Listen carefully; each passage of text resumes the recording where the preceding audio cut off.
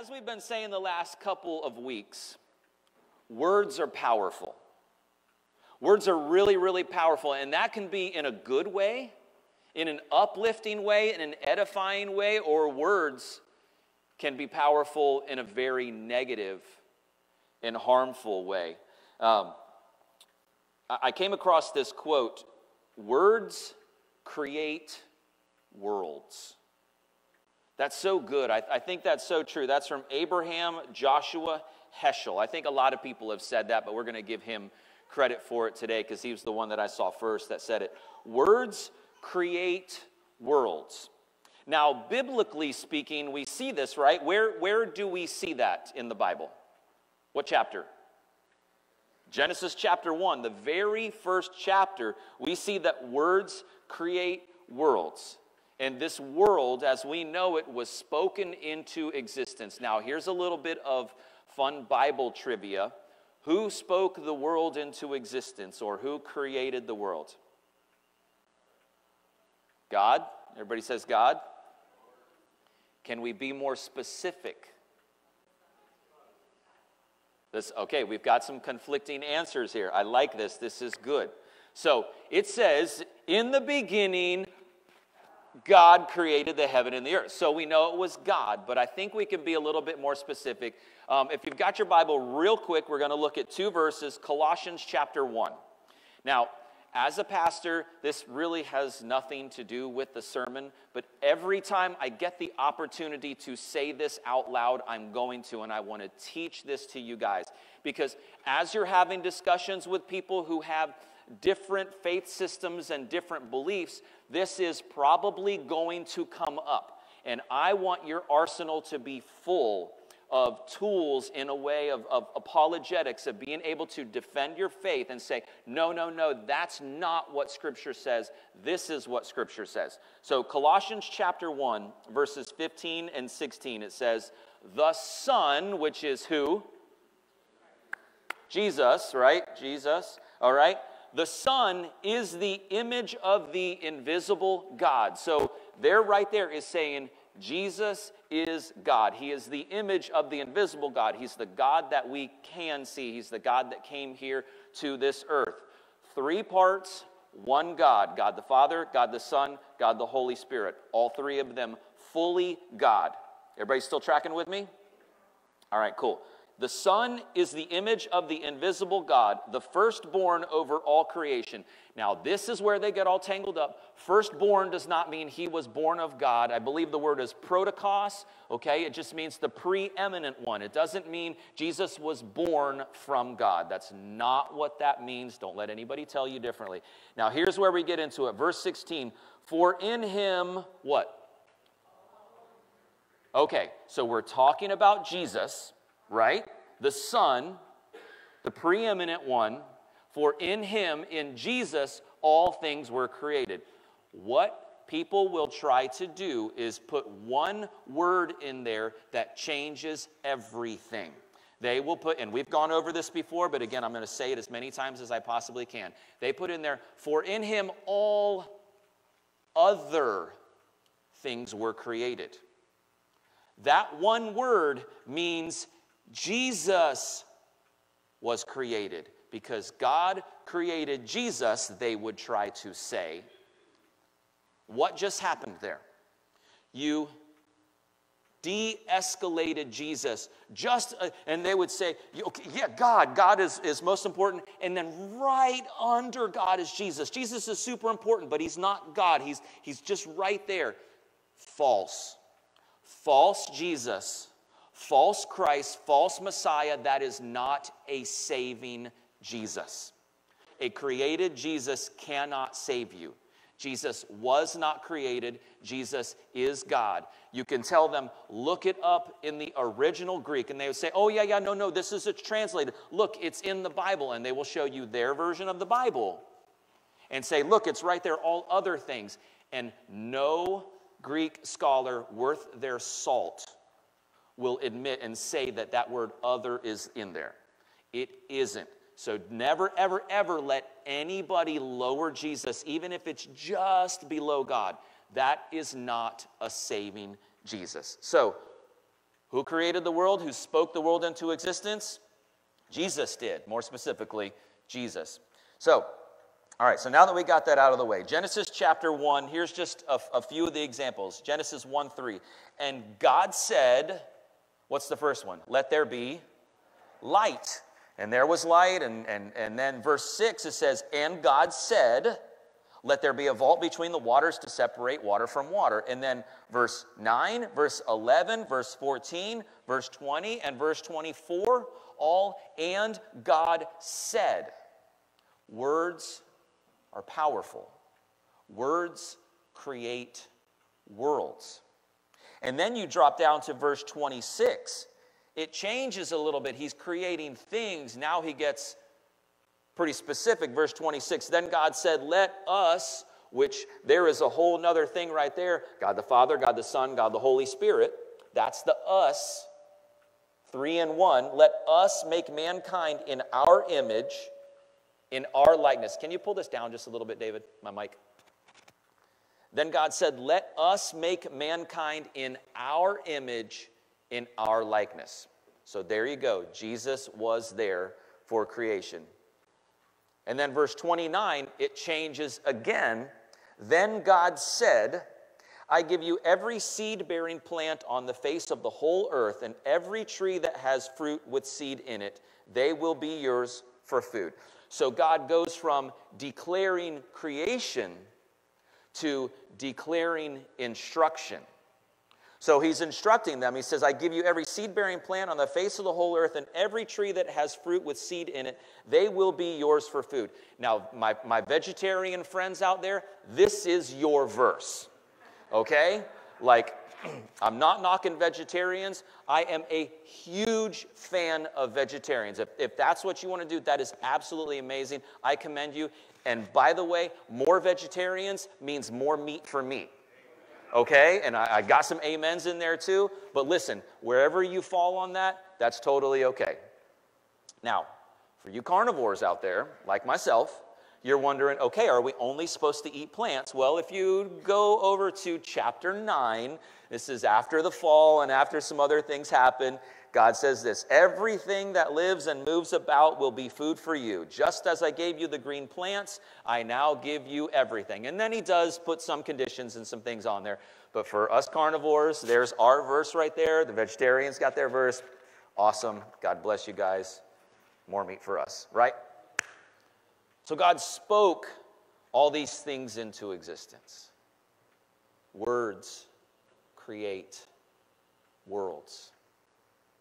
Now, I'm very grateful for Abraham Joshua Heschel for coming up with that. Words create worlds. But I, I think for where we're going today, I want to change it just a little bit. Uh, here, here's my version of it Your words create your world around you. Your words, the words that come out of your mouth, they create this entire world around you. And oftentimes, we could look at our lives and our lives are just chaos. Oftentimes, that is because, or partially because, of the words that come out of our mouths. Now, I'll switch it a little bit because you may be a little bit reluctant. Maybe this is your first time here, and I'm already standing up in here and telling you that your words are wrong and that your words are getting you in trouble. So I'll say it a different way to maybe gain the, the skeptics or those who are not bought in. Here's another way that I, I think it can be said words spoken to you, you think back in time, some words spoken to you have shaped the world around you and that can be good or bad. And I guarantee pretty much every single one of us in this room can think back to a time where something was said to us. Again, it could be a good thing, it could be an edifying thing from somebody that really mattered, and, and, it was this compliment. It was like, whoa. And they spoke something into you that just gave you this confidence, and you have built upon that confidence ever since. Likewise, possibly more often, hopefully not, but probably, we can think back to a time where somebody said something negative in our lives. and it crushed us. And it changed the way that we see ourselves. It changed the way that we see our bodies. It changed the way that we see our abilities. And it's affected us ever since. Oftentimes, it's something that goes all the way back to childhood that maybe a parent said. And maybe, maybe there was no real harmful intention behind it. But words spoken to you have shaped the world around you. Words are powerful. Now, why am I driving home this point so much? Why, why am I just over and over and over saying these same things over these last few weeks?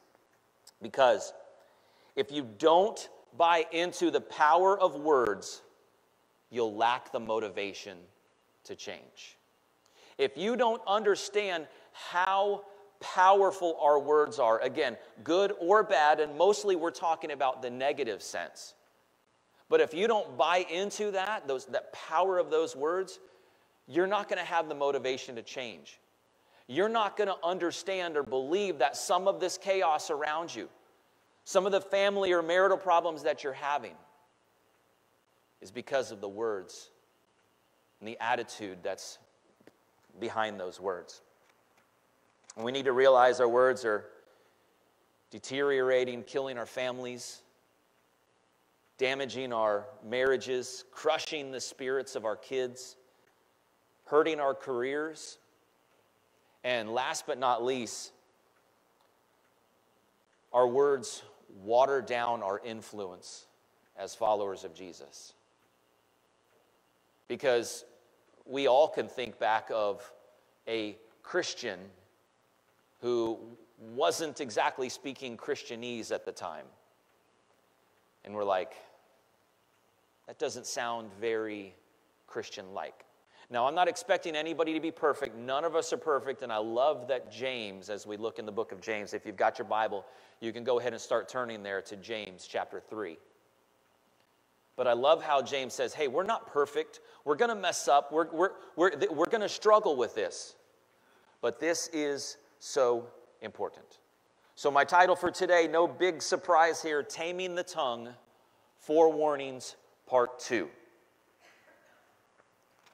four warnings, and this is part two. So last week we came up with the key statement. And this key statement is if there is one thing we need to remember from these messages, this is it tame your tongue or inhibit what's important. Now, again, that word inhibit means to stop, to slow down, to hinder, to damage, you better learn how to tame your tongue, or everything that's important to you in your life, you're going to mess it up. That's what that means. Tame your tongue or inhibit what's important. What you say and how you say it can, can determine your future over so many other factors. And remember, last week we gave that example of a career in how in a career you can have all of the degrees, you can have the experience, you can look the part, you can have the pedigree, you can have everything that qualifies you for a job. And if you sit down for an interview and the interviewer starts asking you questions and is able to extrapolate some of you out of those answers, they're going to see in your words your attitude and your heart. And over all those other factors of your qualifications, that interviewer is probably going to say, I don't think this guy is a team player. I don't think she will fit in here well, or I think that he is just all about himself. We don't need that here on our team, no matter how qualified they are. Words are important. Words weigh heavier than pretty much anything else. And Jesus knows how important our words are. And, and this next verse here is our, our key verse for this series, and I referenced it earlier Luke chapter 6, verses 45. It says, A good man brings good things out of the good stored up in his heart, and an evil man brings evil things out of the evil stored up in his heart. And then just the, the big exclamation point on it right here for the mouth speaks what the heart is full of. And we say, no, no, no, it just slipped out. Oh, I didn't mean to say that. And we come up with all these excuses. And Jesus would say, Nope, sorry. That's your heart. Your heart is showing. Is exactly what Jesus is saying here in Luke chapter 6. And in James chapter 1 before we get to chapter 3 james 1.26 we went over this verse last week here's kind of our, our anchor verse in james it says those who consider themselves religious that just means a relationship with god and yet do not keep a tight rein on their tongues deceive themselves and their religion that relationship that they think that they have with god their religion is worthless that's a really big word. That word actually means vain, unreal, ineffectual, unproductive, and godless.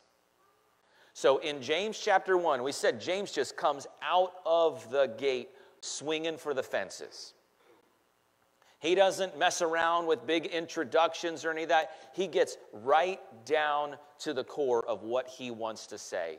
And he drops this bomb in, chap- in chapter 1, verse 26 and says, Those people who can't keep a tight rein, and he's going to go back to that reference here that we're going to look at in chapter 3. If you can't keep a tight rein on your tongue, that religion that you think you have, it's absolutely worthless. So, chapter 2, he talks about what it is to, you know, flesh out your faith, and then he gets into chapter 3, and he goes all in on the power of the tongue. So, four warnings about the tongue. So, real quickly, we go through one and two that we did last week. Number one, the tongue demonstrates power. The tongue demonstrates power. And, and we saw this example in that example of, of a job interview and going after a career. The tongue absolutely demonstrates power, and it can supersede all other things. But people will actually see your heart through the words that you say. And in Luke 6:45 it says for the mouth speaks what the heart is full of. So James chapter 3 starting in verse 1, we'll just read it all the way through. It says, "Not many of you should become teachers, my fellow believers, because you know that we who teach will be judged more strictly." Now that's not a warning for people not to teach. It's a warning for people who are teaching or who do feel like they are called to teach to say, hey, you better take this seriously. Verse 2. He says, We all stumble in many ways. And again, I love that James said that. He's not expecting anybody to be perfect or to get this down perfectly. And he admits, we all stumble in many ways.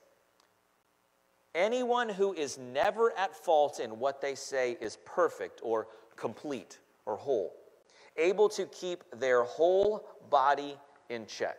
Now, it's pretty interesting. Controlling a muscle in your body that weighs 0.15 pounds or two and a half ounces is the average weight of a tongue, in case anybody was really curious about that. Controlling that is more difficult to do than controlling the rest of your body, James is saying here. It's pretty interesting. So, four warnings about the tongue. Number one, the tongue demonstrates power. Number two, the tongue determines direction. And we've seen this already today. Verse 3 When we put bits into the mouths of horses to make them obey us, we can turn the whole animal. Or take ships as an example. Although they are so large and are driven by strong winds, they are steered by a very small rudder wherever the pilot wants to go. The tongue determines direction. Remember, we showed those pictures of those humongous ships? The Knock Nevis was 458 meters long, which is about 1,500 feet long, I think it ended up being. And you see this massive ship in this big picture, and the rudder was, was just in the picture about this big compared to the rest of the ship. And James is saying that's exactly what your tongue is. As small as it is, it will determine direction, it will determine where you go. So, four warnings about the tongue. Number one, the tongue demonstrates power. Number two, the tongue determines direction. Now, the first two examples deal with direction, you know, the bit and the rudder. But then James, he, he changes gears a little bit here. And he's like, okay, maybe I'm not being strong enough or clear enough here. Here we go. Number three, the tongue delivers destruction. Destruction. It's not just about maybe changing the course of your life or, you know, it, it, yes, it's got some power in there, but he's like, okay, destruction will come from your tongue.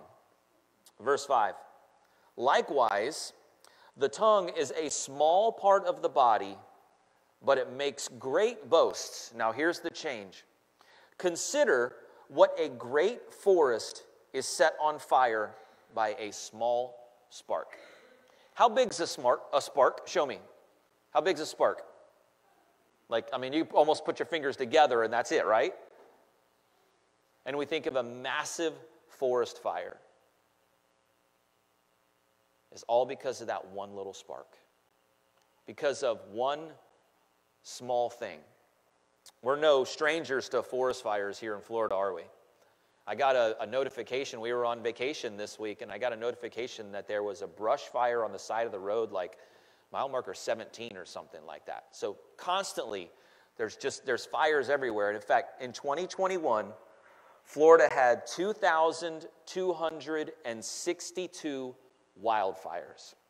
That's a lot of fires in one year. So in total, it burned 105,475 acres. It burned in Florida in 2021. And all of those 2,000 plus fires were started by a spark, a cigarette butt, a campfire that was left unattended, lightning, relatively, comparatively small things compared to 105,000 acres. Now, as many as that is, and, and me being a guy that kind of likes statistics, I had to see okay, well, where is Florida? Is Florida the most? Because I mean, that's a lot. Well, Florida, in fact, is not uh, the most or does not have the most forest fires. Uh, we're actually number 13, in case anybody was wondering. And who would be number one? California. I mean, we see it in the news all of the time. In 2021, uh, California had 9,280 wildfires. That's a lot of wildfires. Anybody want to guess how many acres were burned? A lot. No. 2,233,666 acres were burned in California in 2021 because of wildfires, because they were started by something small. And that's exactly the point that James is trying to make here. All of those acres that were burned, they started from something small. And you will burn and you will destroy things in your life because of one small slip up, we like to call it, that comes out of our mouths. Verse 6. He goes on, he says, The tongue also is a fire. Now, it's like he's just like compounding and building on what he's saying, which, which also is a fire, means it's able to destroy anything it touches. That's how powerful the tongue is. The tongue also is a fire a world of evil among the parts of the body. A world of evil. And then he gives us three very, very specific things. He says, it corrupts the whole body, sets the whole course of one's life on fire, and is itself set on fire by hell. Wow. Tell us how you really feel about the tongue, James. Don't hold back. But again, he wants us to understand how important this is. And I think it's interesting. I didn't plan it like this, but as I was studying this week, I was looking at it and I was like, that's our outline. That, that's three of our four points right there. It corrupts the whole body. The tongue demonstrates power, sets the whole course of one's life on fire. The tongue determines direction, and is itself set on fire by hell. The tongue delivers destruction. Now, me being me, I, I, looked at this last line, and is itself set on fire by hell. And I'm like, okay, what exactly does that mean?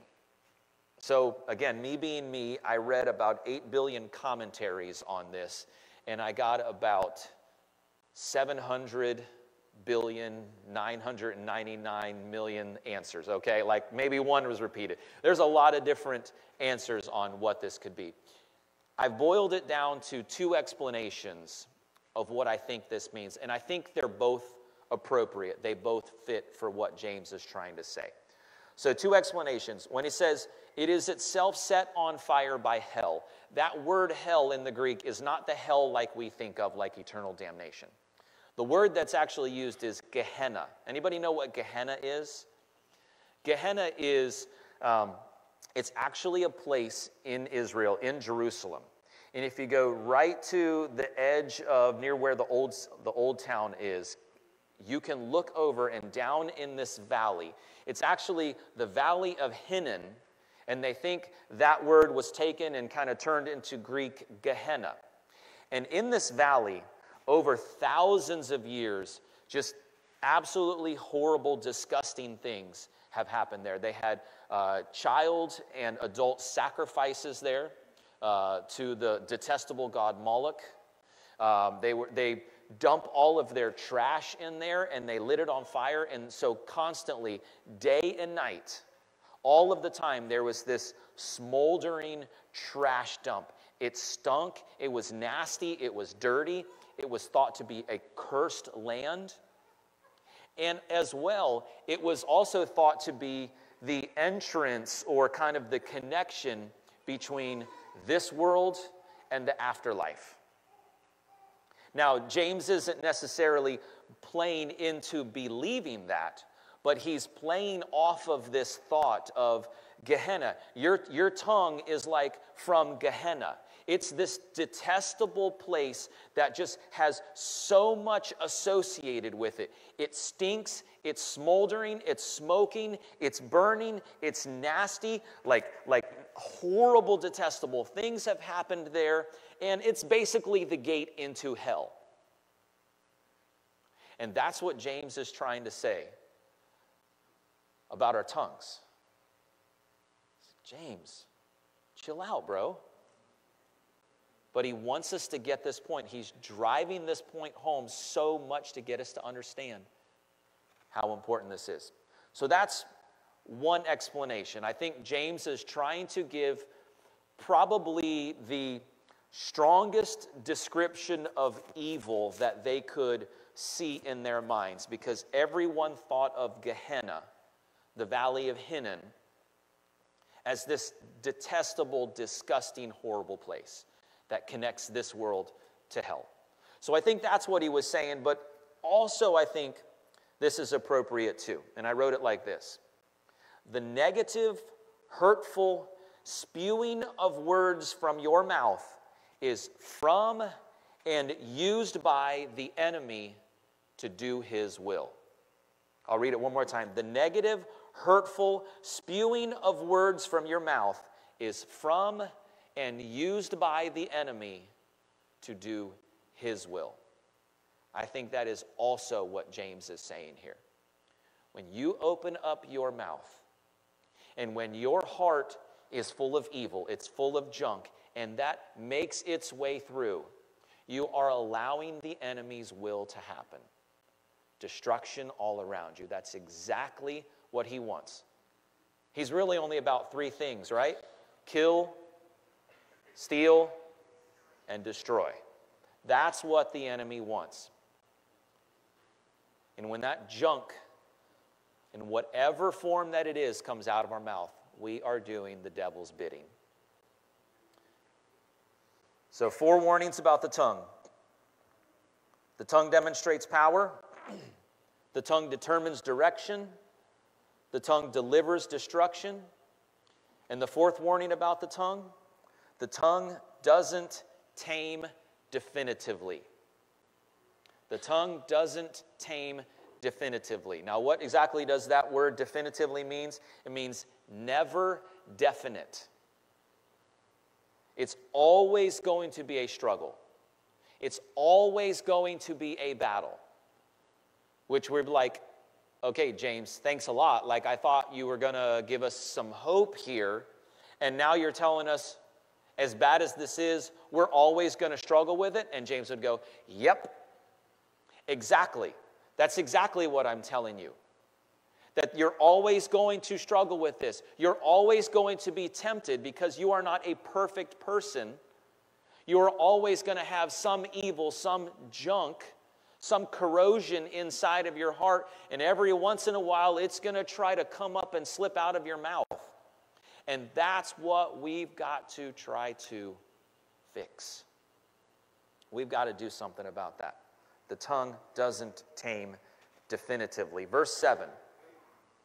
He says, All kinds of animals, birds, reptiles, and sea creatures are being tamed and have been tamed by mankind. Which that, that verse fascinates me. Like, okay, we have like dolphin trainers now. Like, I mean, just theater of the sea. It's right in our backyard, right? I mean, you can go see a dolphin show, a sea lion show, they've like trained parrots and the parrots do things like i never knew parrots could do. Like like they pick out different colors of things and all that. Blue truck you know right? And they do that. It's pretty cool. Is, i guess this is a commercial for theater to see. They're not paying me anything. They ought to. Okay um, but like we know how okay because we're in like 2023 we know how to train animals and james is saying even back then Again, this has nothing to do with the sermon. I just think it's pretty cool. Like back then, they were even tra- training animals birds, reptiles, sea creatures. They're, they're, they're training all of those, they can tame them.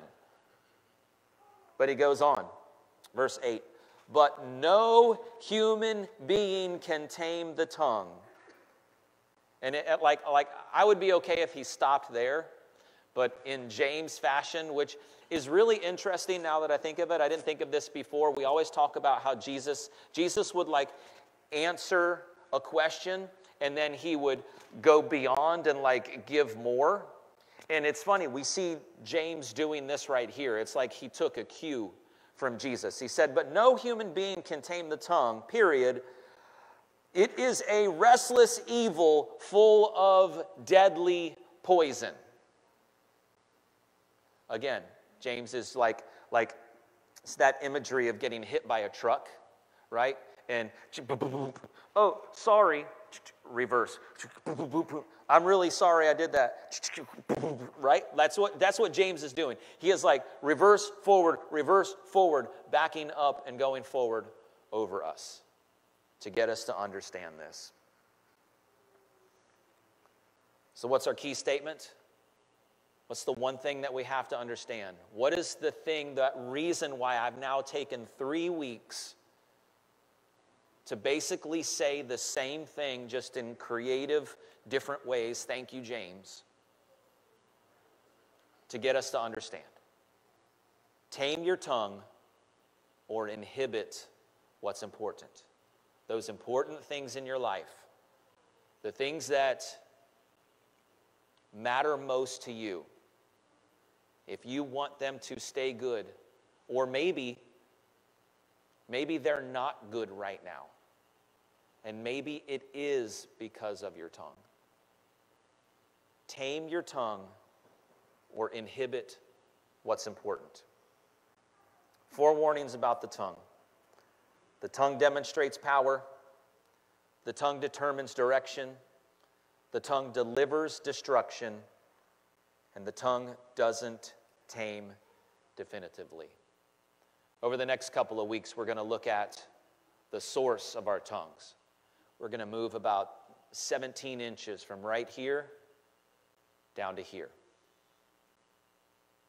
We're going to figure out what it is. Why? Why do we have this junk built up inside of us?